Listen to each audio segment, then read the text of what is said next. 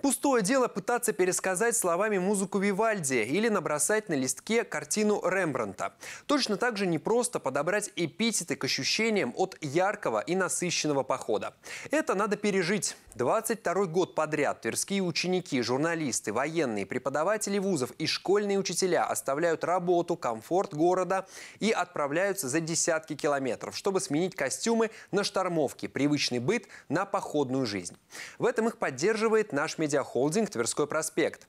Зачем абсолютно разные люди нашего города каждый год вместе уходят в леса? Об этом в нашем сюжете. До начала комплексной научно-патриотической экспедиции водными путями Великого водораздела МСТА-2021 остается чуть более недели. Она стартует 24 июля от деревни Березовский рядок Балаговского района и завершится в Боровичах Новгородской области. Готовиться начали заранее, еще весной был проработан маршрут, определены места стоянок, поставлены научные задачи, проведены переговоры о встречах с местными администрациями. Как отметил руководитель экспедиции Андрей Зиновьев, маршрут Маршрут интересный, но в то же время непростой, особенно при низкой воде. Здесь есть и пороги, и шиверы. Наша стоит задача посмотреть не только интересное геологическое состояние этой местности, оно действительно интересно. Там есть пещеры, там есть подземные реки, которые, конечно, мы посетим и которые посмотрим, которые меняют, кстати, свое русло, поэтому практически ежегодно надо смотреть их состояние. Но есть и масса интересных исторических объектов. В их числе археологические объекты времен неолита и более поздние стоянки славян, которые селились по руслу Мсты.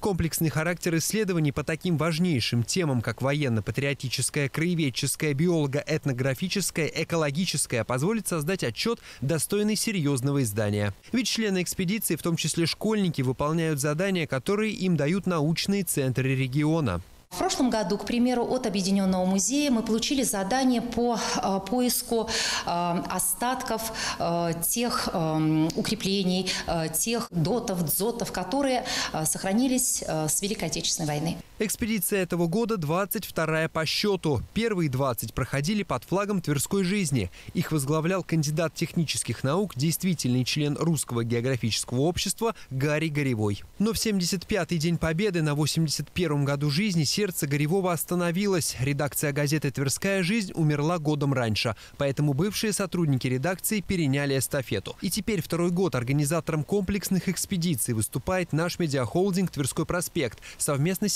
17-й школой Твери. В этом году на байдарках по Мсте отправятся преподаватели вузов, журналисты, военнослужащие, студенты, школьники, члены туристического клуба «Непоседы». Количество участников 25 человек, не маленькое. А потому без поддержки друзей не обойтись. Самое главное, дополнительные плавсредства экспедиции предоставили Федерация спортивного туризма Тверской области и Региональный союз ветеранов военно-морского флота. Перед выездом пережившие не один поход байдарки турклуба «Непоседы» 17-й школы приходится внимательно проверять. Игнорирование этого правила может закончиться провалом экспедиции. Большинство нашего флота – это старые добрые советские еще проверенные таймени, у которых каркас металлический, ну а со временем и металл выдерживает не все нагрузки. Поэтому и болтами соединяем, и заклепываем те или иные элементы.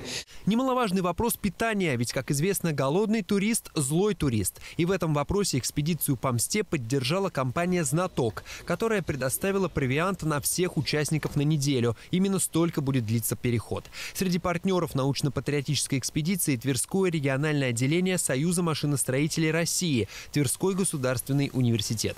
На протяжении всех лет неизменной задачей экспедиции становилось посещение мест боев и захоронений вместе с ветеранами и молодежью в селах, через которые пролегал маршрут. И на этих встречах действительно слова уступали слезам и гордости, а ощущение Родины не нуждалось в каких-либо пояснениях.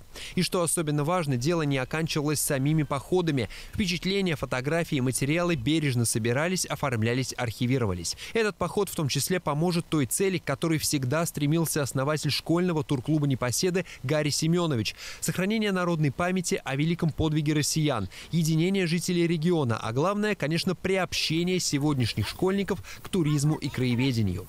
Турклуб «Небоседы» а, способствует такой деятельности, когда люди начинают увлекаться походами, водными походами, пешими походами, открывают для себя новый мир не только в компьютерах. Пусть романтика проливного дождя, мокрого спальника, порванной байдарки на очередном топляке и клеящих ее замерзших рук понятны немногим, но это и есть жизнь. Без лицемерия, предательства и цинизма. Жизнь, в которой можно оставаться только честным перед встречающими тебя на маршруте людьми, перед командой, перед самим собой.